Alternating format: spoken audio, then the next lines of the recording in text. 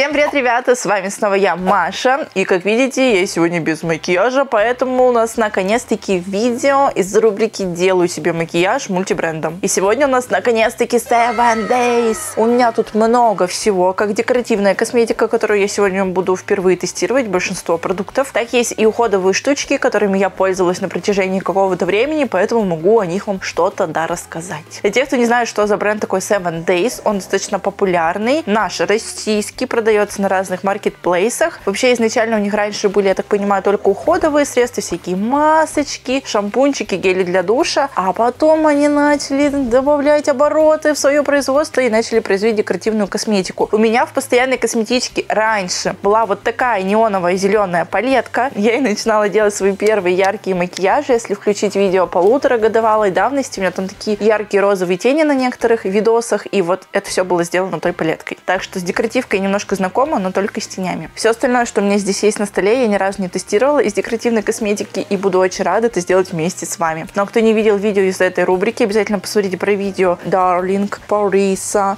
Influence, ну и различные видео формата «Самая дешевая косметика с Wildberries». Очень такое люблю. Но мы давайте будем начинать. Поехали! Вот теперь оно все 100% готово. И начнем мы с вами неожиданно, а с маски. Я ее заказала на Wildberries. И большую часть косметики здесь я покупала на Wildberries именно декоративную, а уходовую мы с вами покупали в разных магазинах. а Магнит Косметик, что-то даже здесь из ленты. Так что имейте в виду, продукты реально продаются во многих магазинчиках. Маска достаточно прикольного формата, стоила всего лишь 70 рублей на ВБ. И я сейчас заметила, что она должна быть реально желтая. Прикиньте, не просто упаковка желтая. У нас тут в составе масло росков пшеницы, кореницы, абсолют, ванили, экстракт банана, гиалуроновая кислота и увлажняющий комплекс. Что же она делает? Придает коже упругость, увлажняет и тонизирует. Вот такие вот дела. Мне очень нравится оформление, но единственное, что меня смущает, что дата производства 2020 год, на секундочку, уже 2023, я надеюсь, срок не прошел. Не, реально, 2020. Три года с даты изготовления. То есть, ну вот буквально в этом месяце у нее уже срок проходит. Wildberries, у меня к тебе вопросики. Окей, но на самом деле меня смущало больше другое, что эта маска, она произведена в Китае. Ой, пахнет чисто бананом, ребят. Вообще такой аромат приятный. Вы видели, просто все начало стекать. Я не была к этому готова. Ой-ой-ой, она еще и на подкладе, кто понимает, да, о чем я? На подложке, вернее. Очень много пропитки, она вся стекает. Хоть бы что-то на лицо попало. О мой бог, ой, какая прохладненькая, ой, какая хорошенькая. И здесь, поскольку, видимо, масочка очень тоненькая, есть такая вот сеточка, которую можно снять, и будет у вас вторая маска. Можете отдать ее парню. Чего-чего, но я не ожидала того, что эта маска будет настолько пропитана, что в прямом смысле она уже соскользает с моего лица, но засчитаем это за плюс. Лекало, сами видите, какое, в принципе, достаточно удобное, но хочется как-то вот сделать вот так, чтобы оно еще лучше село, но не получается. Как будто мало места для рта. За лекало ставлю 6 баллов. Ну а теперь пока я в этой маске, она должна побыть на моем лице 15 минут, расскажу вам про те уходовые средства, которыми я пользовалась и о которых я хоть что-то знаю. Начнем, пожалуй, с того, что у меня есть для лица. И первое, это вот такие вот кремы для области под глазами. У них различия не только в цвете упаковки, и в названии желтенький называется коллаген, а розовенький называется гиалуроник, но у них еще и разница в текстуре. Желтенький, он имеет кремовую текстуру, которая больше питает область под глазами, и, знаете, достаточно ощущается тяжеловато на глазах. Я сегодня нанесла этот крем, крем. И знаете, мои веки такие типа, я устали. Очень долго впитывается данный крем, но у обоих этих тюбиков есть огромный плюс. Это вот этот вот наконечник, который железный и который холодный, и им приятно очень возюкать под глазами. Даже вот сейчас я это делаю, и мне прям кайфово. Что как бы расслабляет, наверное, твою кожу, делает небольшой массаж, уходят отеки, вот это все. Как вы помните, я взяла эти крема только из-за того, что здесь были вот такие вот наконечники. В целом крем прикольный прикольный, но я бы его, наверное, лучше рекомендовала носить вечером, но не прям перед сном, потому что ему надо прям впитаться. Но если кожа сухая, то это то, что нужно, потому что питает он очень-очень хорошо. Но нужно выждать время, чтобы он хорошо впитался. Что по поводу вот этого крема гиалуронового, он имеет такую текстуру как бы геля. Он сам по себе даже прозрачненький и впитывается моментально. При этом гель достаточно плотный, он не такой растекающийся, как, допустим, маски, но им можно пользоваться в буквальном смысле каждый день. И когда я им пользуюсь, я я прям чувствую этот холодок от этого наконечника. Если выбираете изол, то нужно знать, что вам больше надо. Вот это лучше питает, а это лучше увлажняет и быстрее впитывается. Но в целом мне оба этих крема понравились. Ставлю 8 из 10. Далее для лица у меня есть вот такой вот крем, который называется Визона с лифтинг эффектом коллаген. Его фишка в том, что здесь есть такие роллеры, как бы встроенные массажеры, и ты можешь делать вот так. Наверное, я сейчас так и поделаю. Буду чувствовать себя Белла Хадид. My name is Bella Hadid. Слушайте, но через маску это даже приятнее, чем на чистую кожу. В целом, я могу сказать, что я в этом креме разочаровалась, но немножечко все-таки мне подпортило впечатление о нем то, что его вообще неудобно выдавливать. Вот здесь выходит сам продукт. И то есть его нужно выдавить настолько много, чтобы он сразу попал на эти роллеры, что этого как бы слишком too much. Поэтому я обычно его выдавливаю сначала на палец, потом наношу на лицо и уже начинаю потом делать вот эти вот массажные движения, как бы подтягивая кожу. Но в целом, конечно, интересный продукт, побаловаться можно, но больших надежд не стоит возлагать на то, что это будет супер удобно. Что по поводу самого крема, который находится здесь, здесь 40 мл, этого очень много. Я периодически пользуюсь этим кремом, у меня, наверное, только половина израсходовалась, то, наверное, меньше, но не каждый день я им пользуюсь. Но, тем не менее, он мне понравился, хорошенький, быстро впитывается, увлажняет. Ставлю ему 8. Далее у меня есть похожая штучка, но уже для области шеи и декольте. Как видите, я все брала из линейки коллагента. По-моему, было три линейки. Коллаген, гиалурон и еще какая-то линейка, по-моему, зеленого цвета. Но вот коллагеновая мне прям понравилась. Она такая, типа, питательная, видимо, да? Окей. У меня создалось ощущение, что, что здесь, что здесь внутри одно и то же. Только здесь у нас 80 мл, а здесь 40. По-моему, там вообще абсолютно одинаковый крем, потому что по текстуре, по аромату он вообще ничем не отличается. И да, здесь абсолютно такие же массажеры. Только, повторюсь, объем больше, и это типа для декольте и шеи. Вот что по поводу шеи, здесь нужно быть аккуратнее. Ты как бы массируешь тоже и вверх, и вниз. Но нужно видео на ютубе смотреть, как правильно делать массаж шеи. И на самом деле, если у вас какая-либо чувствительная шея, то будет не шибко приятно. Нужно прям слегка это делать. Если я лицо могу прям делать так,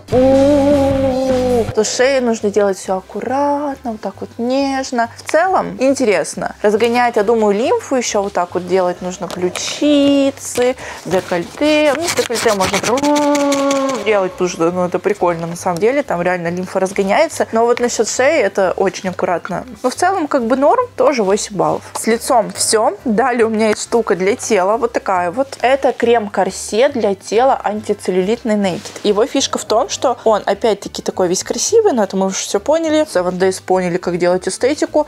Но здесь не в этом фишка, а в том, что здесь есть вот такие вот роллеры, которые как бы массируют твои ляжки или живот, неважно что. И ты совмещаешь проработку массажем и каким-либо средством. Два действия в одном, ну вы понимаете. И вот эта штука мне реально прям понравилась. Массаж получается очень нежный. Это прям рассчитано, я думаю, на супер чувствительную кожу.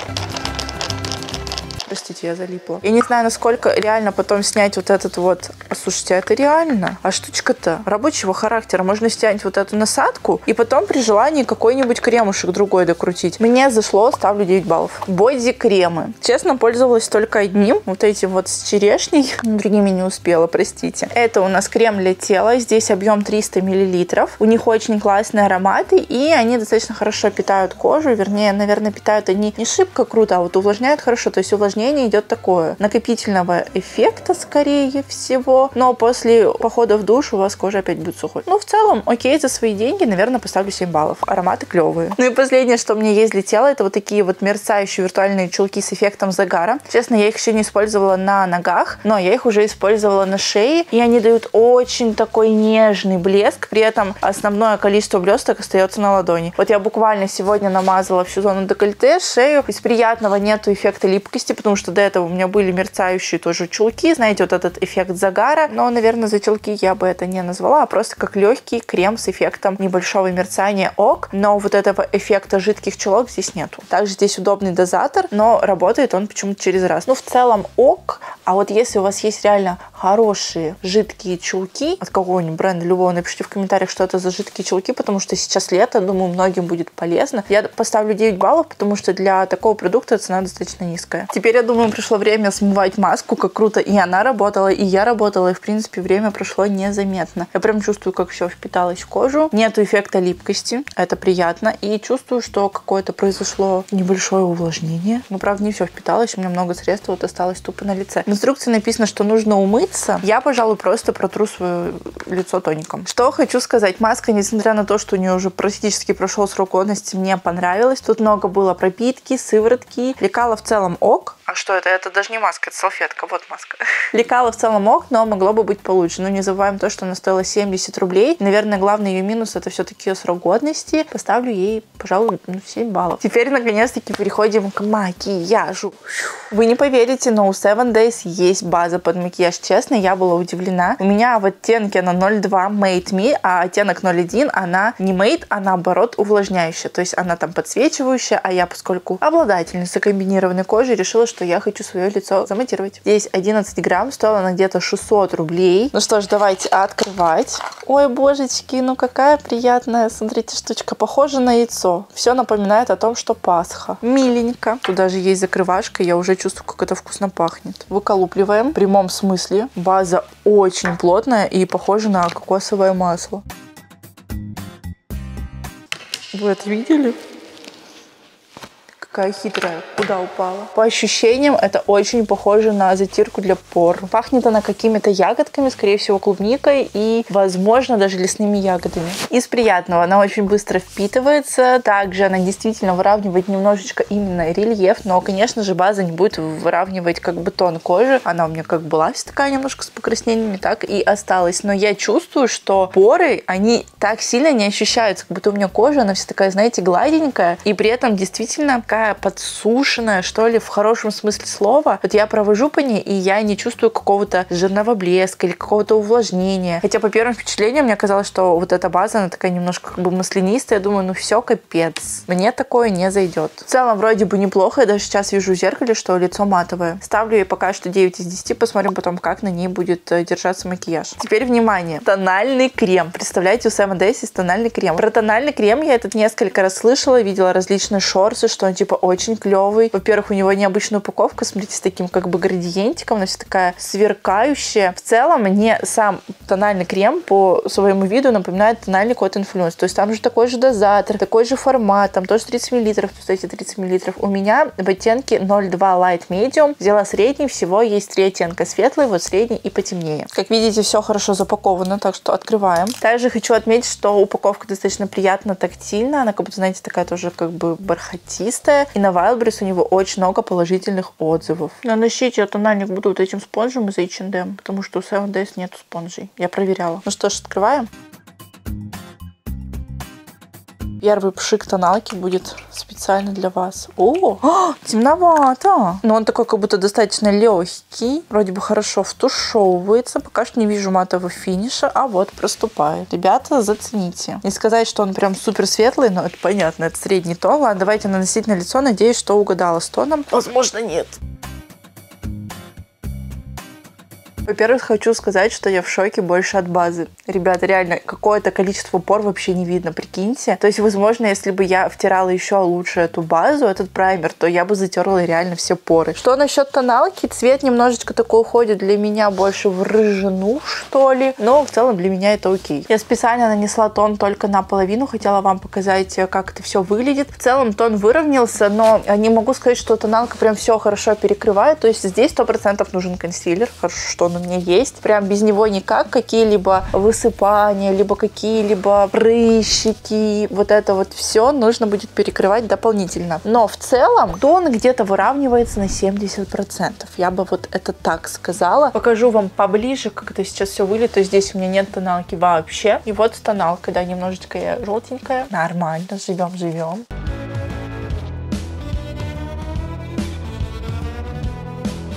Ура, ребят, все готово. Ну что хочу сказать по поводу этого тонального крема. Он достаточно легкий, у него хорошее матовое покрытие, легко ложится. Единственное, что расход достаточно большой, несколько нажатий. Наверное, на все лицо было как минимум три нажатия, а может быть и четыре, чтобы все хорошо распределить. Но я всегда все делаю спонжем, я не люблю кисть и, наверное, просто спонжик съедает много средства. В целом, мне все ок. Мне хочется поставить прям 10 баллов этому тональнику. Поставлю 9 с половиной. Хороший. Теперь переходим к консилеру. Каково было мое удивление, когда я получила вот такую вот просто шляпу большую. Вы посмотрите, это не консилер, это консилерище. Здесь аж 8 литров. У меня в оттенке 01 я консилеры всегда стараюсь брать самые светлые. Как видите, тут приятный такой тоже колпачок. Он такой бархатный, нежный. Почему на камере он персиковый, но в жизни он розовый. О да, мой любимый огромный аппликатор. У Stellary тоже есть такие большие аппликаторы. Люблю, обожаю. Так, смотрим, что по цвету. Тоже как будто немножко с желтизной, но достаточно белый. И вроде как даже... Ой, какой он плотненький, прям то, что надо. И сатиновым финишем, да? Но он явно не матовый.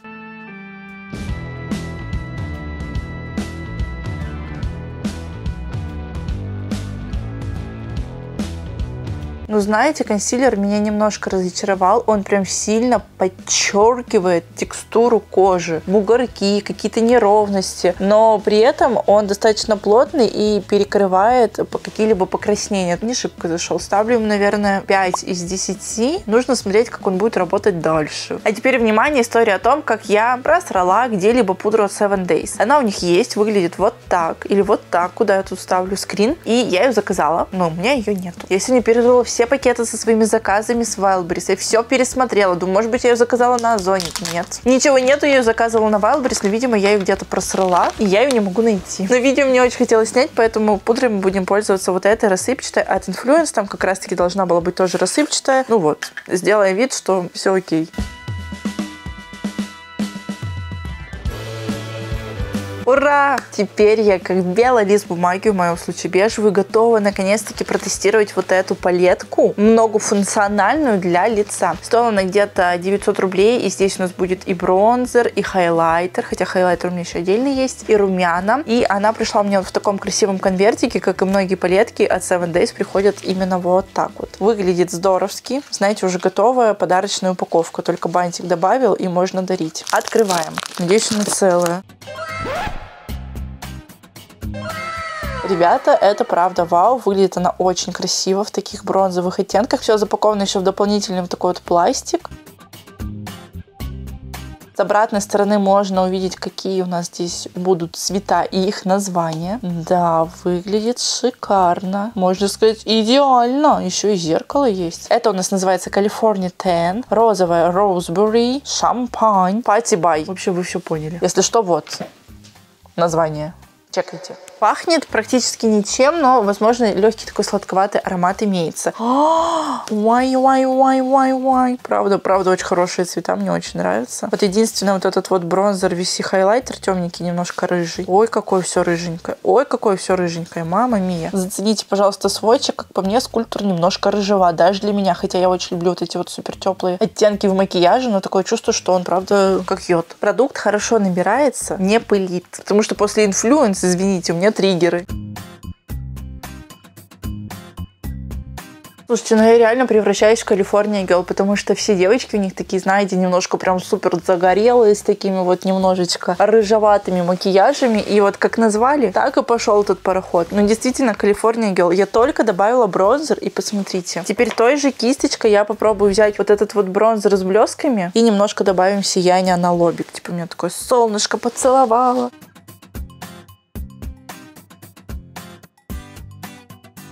Короче, я хочу добавить вот этого вот темного хайлайтера вот сюда. Прям на перегородку. Но огонь, по-моему, даже борщанула. Да, хайлайтеру я 100% ставлю лайк. Контурингу я 100% ставлю огромный лайк. Мне нравится. Да, это слишком рыжевато, это слишком тепло. Но мне такое нравится. Просто имейте в виду, что будет вот так. Это слишком too much warm. Теперь я буду брать хайлайтер. Я его хоть уже нанесла немножко на кончик носа. Теперь попробуем нанести его немножечко на скулы. Я так сильно хотела сделать хайлайтер, что забыла про румяна. Прикиньте, обычно я по-другому делаю. Сначала румяна, потом хайлайтер. Зацените, как сияет. Ну, знаете, такое очень деликатное свечение, можно сказать, легкое, потому что я уже наслаиваю этот хайлайтер, наверное, в третий слой, чтобы сияло так, как мне нравится. Очень нежный, очень классный. Хайлайтеру тоже ставлю лайк. И теперь самое интересное. Румяна. Они такого розового оттенка мне очень напоминают румяна, блин, от Influence, которые вот у меня были недавно. И то, что они тоже с шиммером. Ну-ка, румяшки, ну-ка, не подведите. Ну-ка, ну-ка. Ой, ну смотрите, какое сияние идет нежное, да? Освежает.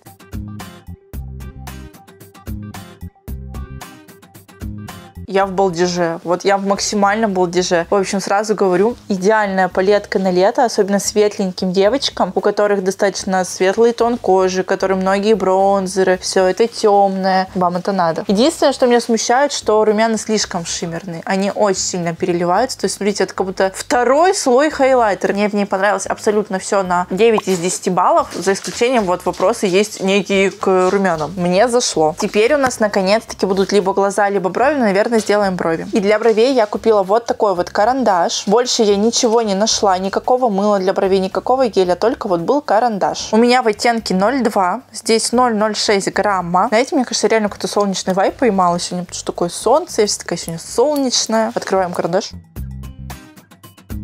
Ну, погнали смотреть. У нас есть карандаш с вот таким вот количеством продукта. Много и крутится, и крутится. Ну, достаточно. И с другой стороны у нас есть такой вот ёршик, так и хочется его назвать. Я его не могу даже открыть. Все заклеено наклейкой. Ура, я ее победила. И вот такая вот щеточка. На мой взгляд, самая обычная. Я вот не знаю, что делать. Мне нужно чем-то уложить брови. Наверное, это будет мыло, потому что что-то последнее время я подсела именно на него, а не на гель. Поэтому сейчас я почищу вместе с вами брови моим авторским способом способом влажной салфеткой. Для этого я беру влажную салфетку, беру ту же щеточку с карандаша, наматываю салфетку и убираю какие-либо попавшие частицы пудры, тонального крема, вот этого всего, чтобы брови уложились идеально. Готово. Теперь давайте смотреть, что по цвету. Я взяла опять-таки средний тон. Ну, карандашик достаточно жестковатый. Я его прям чувствую кожей. Не могу сказать, что это хорошо или плохо, но надеюсь, что не будет сильно травмировать кожу на бровях. Цвет светлый. Вот, зацените, пожалуйста, тут в прямом эфире, так скажем, да. Чтобы уложить брови, я буду использовать вот это мыло с Influence.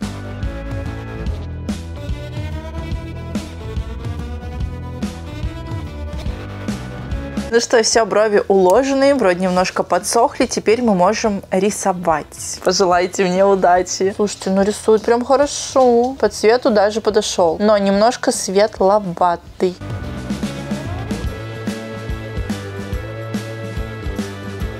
Вай-вай-вай, ребята, вах-вах-вах. По-моему, такие брови у меня именно получились. Несмотря на то, что светлый карандаш получился вах-вах-вах. Хороший карандаш, тушуется очень-очень хорошо. На коже бровей практически не ощущается. И почему-то цвет на бровях темнее, чем на коже рук. В общем, такие брови у меня получились. Наверное, их чуть-чуть сейчас подкорректирую консилером.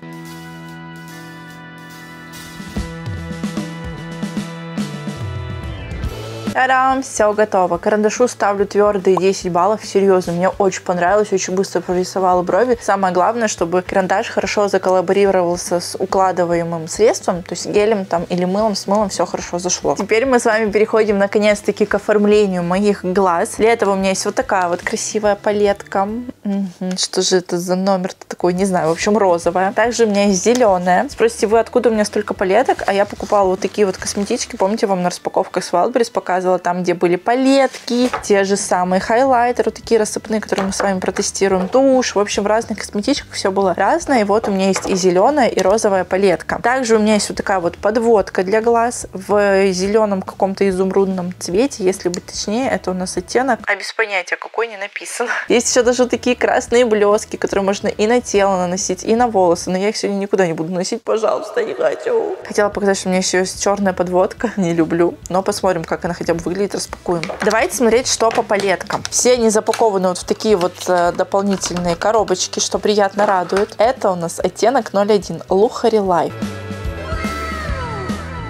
действительно лухари. Смотрите, как все переливается. Очень много металликов, есть и матовые оттенки. Да, вот это прям мое. Мне кажется, даже идеально подходит под мой макияж. То есть такое бронзовое, золотистое, очень красивое. 9 оттенков, 4 из которых это матовые оттенки и 5 металликов. Все переливается достаточно хорошо. Посмотрите на свойчик, как это все выглядит. Но что-то металлики какие-то не очень пигментированные по первым впечатлениям. Ну а матовые очень даже хорошо. Здесь прям лухари запахло. Еще одна палетка в оттенке 03. Rainbow Dash называется. Тут, я так полагаю, все будет немножко изумрудное. Да, оттенки, конечно, интересные. К сожалению, я не могу рискнуть и сделать себе макияж этой палеткой, потому что все-таки в этой рубрике я делаю себе повседневные макияжи, те, которые я буду носить в реальной жизни. Хотя тут есть три оттенка. Это такой немножечко капучино, немножечко макачино и желтый оттенок. Ими можно, в принципе, сделать что-то повседневно, но все остальное это зеленое, изумрудное и голубое. Эти палетка чисто для меня в коллекцию. Будет лежать у меня в туалетном столике. Напоминать о том, что я могу себе и зеленый макияж делать. Ну а мы будем использовать все-таки вот эту красотку. Она меня очень сильно интересует. Наверное, в качестве подложки я буду использовать консилер от того же Seven Days, потому что базы под э, тени я не нашла от Seven Days. Ну, правда, очень плотный консилер, прям вообще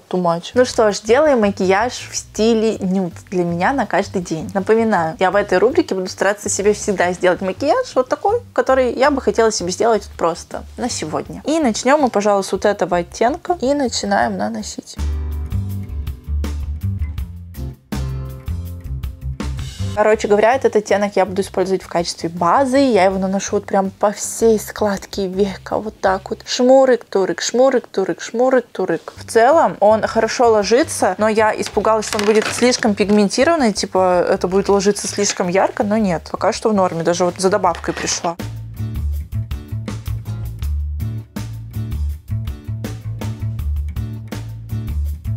В общем, как-то так. В целом ложится нормально, но как будто на втором слое немножко начинает, вот знаете, пятнить. Далее я беру вот этот вот цвет. Он такой немножко даже как будто холодный. И его я буду носить, знаете, больше в внутреннюю складку глаза, если это можно так сказать. И как бы тушевывать в центр и вверх. Ну, в общем, вот, вот, вот такие вот у меня движения странные.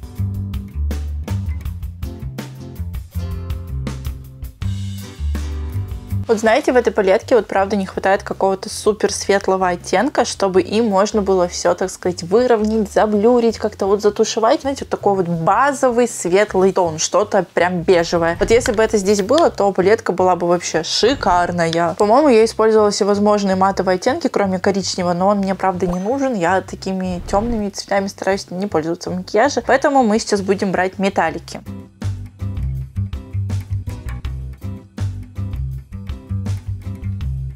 Я не знаю, что делать. Короче, ладно, я беру вот этот вот цвет, самый нижний, который нужно, знаете, так замешивать, потому что он там зебра такая. И наношу его во внутренний уголок, вернее, во внешний. Фига он бронзовый. Вот это я понимаю. Сравните матовый глаз и уже какой, извините меня, переливающийся и сверкающий. Ну, в общем, как-то вот так получается. Не могу сказать, что это самая классная палетка. Меня очень сильно смущают вот эти вот металлические оттенки. Они, правда, как будто одинаковые. Какого-то градиентика сделать, какого-то переходика. Поближе сейчас вам покажу свои глаза, чтобы вы их могли видеть, посмотреть, как я там все сделала. Но в целом вроде бы окей. В общем-то, у меня есть еще вот такая подводка зеленая. Я не знаю, что мне с ней делать, правда. О, это даже здесь не кисть, здесь аппликатор, чтобы вы понимали. Я думала, может быть, ее куда-нибудь добавить, что-либо сделать. А я сделаю, знаете что? Вот вы сейчас офигеете. Я сделаю точечку вот здесь вот. Опускаемся ниже и под веком делаем точечку такую вот. Оп, оп. И подводку использовала. Так, то же самое делаем. Всегда один глаз нормально сделаешь, другой, блин, не идеально.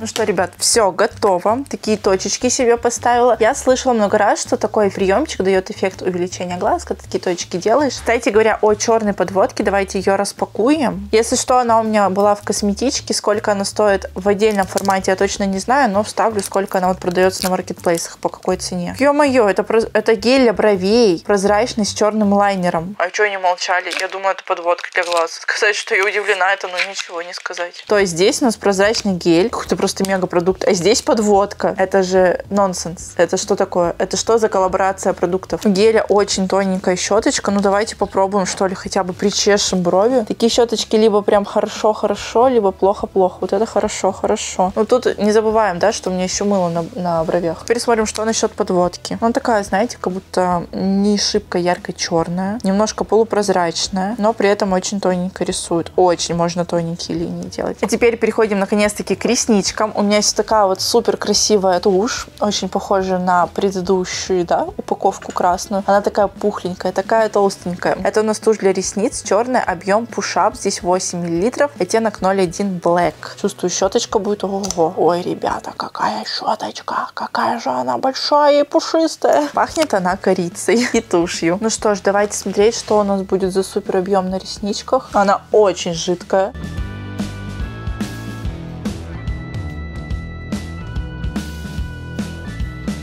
Специально покажу вам накрашенный глаз, так сказать, после и вот до. Подойду поближе. Мне понравился эффект того, что тушь вообще не склеивает ресницы, то есть от слова совсем. Комочков тоже она не делает, это тоже огромнейший плюс. Единственное, что мне кажется, не такой уж прям вау объем она дает, но в то же время, несмотря на то, что это объемная тушь, она как бы дает небольшое удлинение.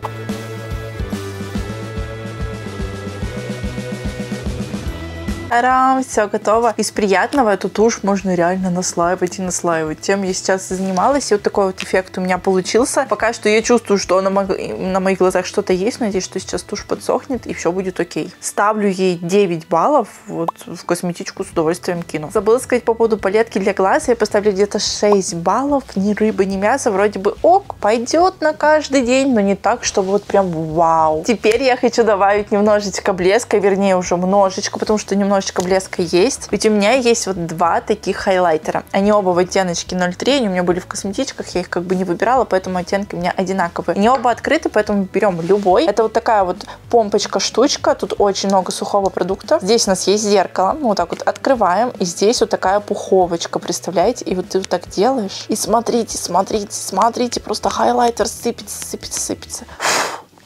Надеюсь, вы увидели этот эффект. Ребята, какое нежное свечение получается, правда. Но наносится, честно, плоховато цвета. Я думала, это будет как-то погуще, что ли, смотреться в плане блесток. Типа сияние будет более выраженное, но нет. Вот на носу оно стало явно выраженным. Очень сильно, правда, пылит, прям чересчур. Ну что ж, я все больше и больше похожа на California Gel. И сейчас, как завершение, у нас будет макияж губ. У меня нету карандаша, у меня нету какой-либо прям помады в нашем понимании, нету блеска, но зато у меня есть вот такой вот тин для губ, внимание, желтого цвета. Я не знаю, почему я купила его, но я решила взять желтый оттенок оттенок. Называется 02 Miracle Pink. Возможно, я взяла не желтый тинт, возможно, розовый. Вот так вот выглядит эта красота, такая коробочка. Но это еще не все. Также у меня есть вот такой вот многофункциональный продукт, который называется мерцающая помада в оттеночке 04. По сути, это можно использовать и как хайлайтер, и как помаду. Все это находится в таком вот стике и имеет приятную текстуру вазелина. Эта штука очень вкусно пахнет кокосом и ванилью. Но я вот нанесла на тоналку, это выглядит странно. Макияж Парис Хилтон готов. Все, ребят, тоналки на моих губах нету. Сейчас будем раскрывать вот этот вот пигмент для губ. Ой, какая прелесть. Посмотрите, он в форме сердечка. Он серьезно в форме сердечка. И при этом знаете, в итоге не желтый, не розовый, а какой-то оранжевый. По ощущениям это масло. Но это выглядит как самый дешевый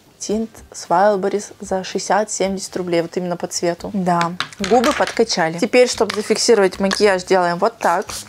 Распускаем локоны. Этот тинт, он достаточно увлажняющий, он вообще не чувствуется на губах. Мне кажется, цвет too much, но я думаю, что для подростков, все-таки, наверное, подростковая косметика, это прям идеально, то есть сочные губки, такие ягодные, такие... Для меня это просто не мой формат. Но в целом мне штучка понравилась, очень приятное ощущение, она и пахнет приятно. Хочу поступить по-своему и добавить карандаш для губ. Я не могу. Мне плохо без карандаша. Буду использовать вот такую вот пупу в оттенке 006. Как видите, просто добавила немножечко контура и все. То есть я даже не стала сильно заполнять карандашом губы. Так, чисто чтобы было. И вот, внимание, сверху мы добавим продукт от Seven Days. Вот этот вот пигмент с блесками, мерцающую помаду. Я думаю, хорошо будет сочетаться. Такая несостыковочка, просто наверху все такое теплое, золотое, бронзовое. И снизу на губах такие фиолетовые переливы. Ну вот теперь я считаю макияж завершенный. Посмотрите, как мои губки выглядят сейчас с этой мерцающей помадой на карандаше. По-моему, прикольно. Но в целом мой макияж вблизи выглядит как-то вот так. Хочется сделать вот так вот. Похоже я на Калифорния Гелл, пишем в комментариях. В целом мне понравилось. Вот меня губы смущают больше всего, как будто они вот в общую гамму вот эту вообще не вписываются. Но в целом, что есть, то есть. Оцениваем мой макияж в комментариях. Я попытаюсь это исправить блеском другим. Я сделала еще хуже, но я правда пыталась. Вот теперь точно оцениваем мой макияж в комментариях по десятибалльной шкале, что вам больше всего нравится из того, что я сделала, что вообще не нравится, что бы вы мне могли порекомендовать, все в таком духе, в общем, все пишем в комментариях. И теперь моя любимая часть видео. Что мне прям супер-пупер-мега понравилось из того, чтобы я вот с удовольствием кинула в свою косметичку, что я сделаю. В топе у меня, конечно же, она, база либо же праймер. Он меня настолько сильно впечатлил, он так хорошо заблюрил мои поры, что я в восторге. Также мне очень сильно понравился тональный крем тоже ему ставлю огромный лайк. И вот эта палетка. Это топ-3 средств от Seven Days, которые я сегодня затестировала, которые мне прям зашли, которые я кину в свою косметичку прямо сейчас и буду ими пользоваться. Что не зашло, это консилер, наверное, тинт все-таки не очень зашел. Ну и не совсем я поняла палетку, но она как бы норм. Самое главное, что у нас есть топ-3. В общем, буду рада любым вашим комментариям внизу к этому видео. Скорее пишите в комментариях, какой мне бренд в следующий раз купить и сделать только им макияж, что вы уже использовали от бренда Seven Days из декоративки, что уже использовали из уходовой косметики, что вам понравилось, что вам не понравилось. Короче, все пишите, все буду читать. И у кого была пудра от Seven Days, напишите в комментариях, какая она. Классная или нет. Много ли я потеряла, что я ее потеряла. Или, типа, оно и к лучшему. Ну, на этом все. Всем большое спасибо за просмотр. Всех люблю, целую. Желаю вам прекрасного солнечного настроения, чтобы все ваши макияжи у вас всегда получались и всегда были такими, какими вы их видите, чтобы вообще все было супер круто. Люблю. Пока.